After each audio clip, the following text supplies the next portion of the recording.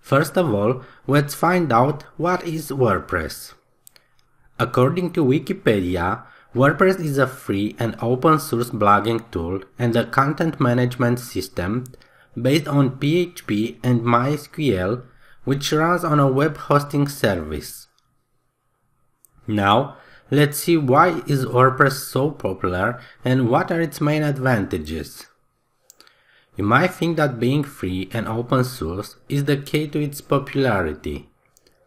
Actually, the easy installation, administration, flexibility, and its theming and plugin systems are the factors that make it so popular. It's a good choice for beginners as it does not require any PHP or HTML knowledge from the user side. Its community is huge and the developer support is also great. Thousands of plugins are available for free on its website and this is the reason why WordPress is considered to be a content management system, not only a blogging platform. Themes are also a reason for its flexibility. It allows you to completely change the aspect of your website almost instantly.